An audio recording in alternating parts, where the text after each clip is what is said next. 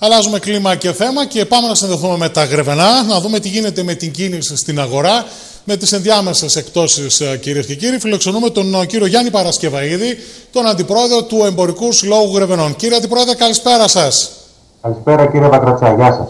Καταρχήν, είμαστε στις ενδιάμεσες εκτόσεις ε, σε όλα τα εμπορικά καταστήματα της ε, χώρας. Θα ήθελα ένα πρώτο σχόλιο. Πώς κινείται η αγορά την ε, τελευταία περίοδο; Συνέπεσε δηλαδή να έχουμε την προηγούμενη, το προηγούμενο διάστημα και την Πασχαλινή αγορά. Τώρα έχουμε και τις εκτόσεις. Υπάρχει κίνηση κύριε Παρασκευαίδη και αν ε, σας βοηθάνε αυτές οι ενδιάμεσες εκτόσεις για να βγει και ο κόσμος έξω. Ναι, Ερχόμαστε, όπως είπατε και εσείς, από πολύ δύσκολη περίοδο. Αυτό είναι μια πραγματικότητα, μια σκληρή περίοδο. Ε, η τελευταία βόλτα που κάναμε σήμερα με μέλη του Διοικητικού Συλλόγου στους συναδέλφους μας, ε, δυστυχώς η εικόνα κύριε Πατρατσά είναι πάρα πολύ κακή. Μάλιστα. Εγώ γενικότερα είμαι ένας αισιόδοξος άνθρωπος, μάλλον προσπαθώ να είμαι ένας αισιόδοξος άνθρωπος, προσπαθώ να πηγαίνω προς τα εκεί, αλλά μερικές φορές πραγματικά δεν ξέρεις από πού να το πιάσεις. Η πραγματική μου ανάγκη σήμερα είναι γιατί πιστεύω ότι αυτά που θα πω είναι γνωστά και σε εσάς και σε όλους. Το τι συμβαίνει και στη Δυτική, στη Δυτική Μακεδονία μας είναι η αγωνία πραγματικά που θέλω να εκφράσω την αγωνία των εμπόρων της πόλης μου. Πραγματικά σήμερα κάναμε μια μεγάλη βόλτα και αυτό που πήραμε πίσω ήταν. Ε, Απογοήτευση; Δύσκολο. Δεν θέλω να σα πω τόσο λέξεις, αλλά δύσκολο. Δηλαδή, πραγματικά μια αγωνία του ότι αν εξαιρέσουμε τις τρεις μέρες μετά τη Μεγάλη Τετάρτη ως το Μεγάλο Σάββατο και λίγο την επόμενη εβδομάδα έχει έρθει πάλι μια καθίζηση της αγοράς δηλαδή ξαναγυρίσαμε στα ίδια πρωτού Πάσχα. Αυτή είναι η εικόνα που σας μεταφέρω και η αγωνία των εμπόρων της πόλης μας και η προσωπική μου. Δηλαδή, ε, τι σας λένε οι επιχειρηματίες, είναι, έχει ανοίξει ο καιρός. Ε, υπάρχουν εκτόσεις, ε, καλές τιμές στα εμπορικά καταστήματα. Γιατί διστάζει το καταναλωτικό κοινό; Χρησιμοποιεί παράδειγμα, εντάξει ο καθένας ξέρει το σπίτι του. Ε, για τα πιο σημαντικά δεν βγαίνει να αγοράσει τώρα που ανοίξει ο καιρός ρούχα, υποδήματα, κάτι άλλο. Ναι, γυρνώντα εγώ την αγορά, αυτό είδαμε σήμερα ότι ο κόσμος είναι μαζεμένος πάρα πολύ. Έγινε μια, ας το πούμε, μια εξόρμηση για τα βασικά, τα δώρα, νονά κτλ. κτλ στα βαφτιστήρια τους. Ε, αλλά από εκεί και πέρα ξανακλείστηκε ο κόσμος. Είναι πολύ έντονο, το βλέπω και εγώ στην επιχείρησή μου. Ο κόσμος γενικότερα ξαναεπέστρεψε ε, σε αυτή τη φοβικότητα δηλαδή του τι μέλη γενέστε αύριο. Δηλαδή, αύριο έχουμε παγκόσμιο πόλεμο, αύριο, αύριο τι έχουμε αύριο, ας πούμε. Ναι. Ε, μίλησαν για τα ρεύματα οι επιχειρήσεις ε, και ο κόσμος βέβαια. Ε, άκουσα κάτι ποσά πάλι σήμερα και τρόμαξα. Και γενικότερα ο κόσμος αντιμετωπίζει μάλλον αυτή την κατάσταση που είναι σαν κα, κατάλογο δηλαδή της κατάστασης που επικρατεί όλο πανελληνία και παγκόσμια δηλαδή. Επειδή συνομιλείτε με τους συναδέλφους σας και επειδή μου αναφέρατε το, το θέμα με, ε, για το ρεύμα και λοιπά και θα έρθω και στα τελευταία μέτρα της κυβέρνησης. Έχουμε πολλού, πολύ φουσκωμένους λογαριασμούς στα γρεβενά σε σχέση με τους προηγούμενους μήνες. Δηλαδή που αδυνατούν οι επιχειρήσεις να ανταπεξέλθουν να πληρώσουν αυτούς τους λογαριασμούς κύριε Αντιπρόεδρε. Επί το πλήστο ναι. Όχι όλοι αλλά το μεγαλύτερο ποσοστό ναι. Και στην, και στην επιχείρησή μου μου ήρθε περίπου επί 2,5 ο καθαριστικός και σήμερα άκουσον άκουσον μαγαζί της πόλης πριν μία ώρα περνώντας είχε ε, περίπου στα 20 ευρώ ρεύμα το μήνα και είναι 450 ευρώ. Μάλιστα. Αυτό είναι τεράστια διαφορά. Ναι, ναι, ναι. Κατάστημα της πόλης εδώ παρακάτω, ας πούμε. Μάλιστα. Δηλαδή, καταλαβαίνετε ότι ε, τα πράγματα είναι και από τους καταναλωτές και από τους επιχειρηματίες. Δηλαδή, είναι μια κατάσταση που δεν παλεύεται άλλα από εμά. Τα μαγαζιά πέραν τα εμπορεύματα, ε, τα μαγαζιά είναι έτοιμα, οι καταναλωτές δείχνουν διάθεση αλλά δυστυχώς έχει κρατήσει πίσω μάλλον όλο αυτό το κομμάτι του ρεύματος, όλο αυτό το κομμάτι του πολέμου, όλο αυτό το κομμάτι της διαβίωσης πιο ακριβής. Και νομίζω ότι έχει μπλοκάρει την κατάσταση. Μάλιστα, και όπως μου λέτε τώρα, δεν μπορεί ε, τα εμπορικά καταστήματα, εγώ μιλάω για τα γρεβενά τώρα, να δουλέψατε μόνο τρεις μέρες το Πάσχα και μετά τι μέλη γενέστε. Ούτε τα έξοδα βγαίνουν, ούτε μπορούν να κρατηθούν τα μαγαζιά, ούτε τίποτα. Δηλαδή με τρεις μέρες το Πάσχα και τώρα να μην υπάρχει κίνηση παρότι υπάρχουν διάμεσες εκτόσει και καλές τιμές. Οι εκτόσει, κύριε Βακρατσά, ήρθαν και δεν ακούμπησαν, αν εξαιρέσεις από τη βόλτα που κάναμε, πάντα μέσα κάποια καταστήματα λόγω του είδους τους. Ναι. Ήταν μια σχετική κίνηση. Αλλά το, το τεράστιος όγκος είναι απελπιστική κίνηση. Δεν υπάρχει. Δηλαδή ήρθαν εκτόσει, ήρθαν και δεν ακούμπησαν. Δεν, δεν υφίσταται εκτόσει στην πόλη μας. Δηλαδή, δεν, δεν απασχολεί κανέναν δηλαδή. Μάλιστα. Είδαμε πάντως ότι προσπαθήσατε και να βγει ο κόσμος και την περίοδο του Πάσχα και όχι μόνο και τώρα κάνατε και κάποιες δράσεις. Δηλαδή είδαμε μια κλήρωση με κάποια δώρα, με κάποια έτσι να μπορέσετε να βγάλετε τον κόσμο έξω. Απέδωσαν αυτά τουλάχιστον.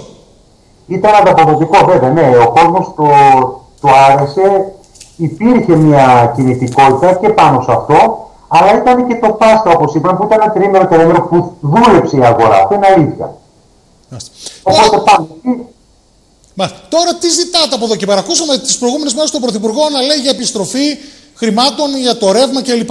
Τι ζητάτε ως εμπορικός κόσμος για να στηριχθείτε και εσείς αλλά και μέσα από την ΕΣΕ, μέσα από τα συνδικαλιστικά σας όργανα; Γιατί κάποια στιγμή δεν μπορεί να συνεχιστεί αυτή η κατάσταση. Δηλαδή, αν μου λέτε εσείς παράδειγμα ότι σήμερα κάνατε μια βόλτα ως αντιπρόεδρος μαζί με το Διοικητικό Συμβούλιο και δεν υπήρχε κίνηση, αλλά άλλη μια μέρα χαμένη.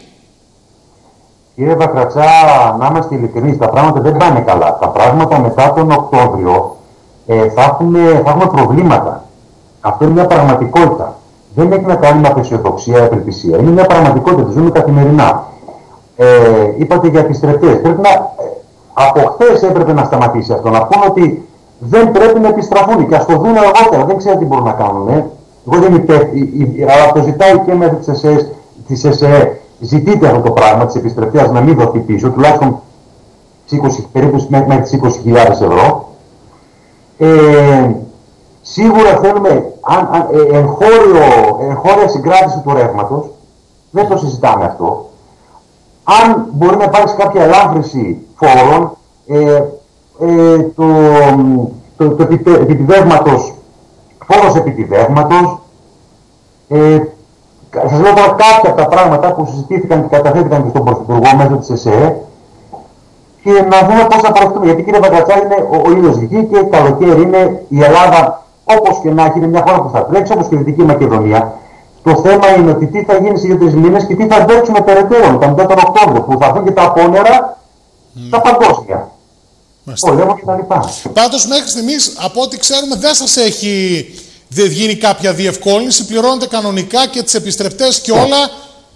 Είναι να γίνει σιγά σιγά τώρα, να ξεκινήσει από την, να, να αρχίσουν να πληρώνονται. Ε, ε, ευελπιστώ ότι κάτι θα γίνει. Γιατί δεν μπορεί να προχωρήσει η κατάσταση έτσι. Ειδικά στην Δυτική Μακεδονία που κλείσαμε τα καλολιφέρ προχθές. Εγώ έχω μικρά παιδιά ας πούμε, και τα κλείσαμε προχθές τα καλολιφέρ. Το τζάκι σταμάτησε να καίει προχθές. Μάλιστα. Επειδή οι εμπορικοί σύλλογοι, τα επιμελητήρια συναντιόνται και με τον Περιφερειάριο Δυτικής Μακεδονίας και με τους αυτοδιοικητικούς, τους πιέζεται, κύριε Παρασκευαίδη.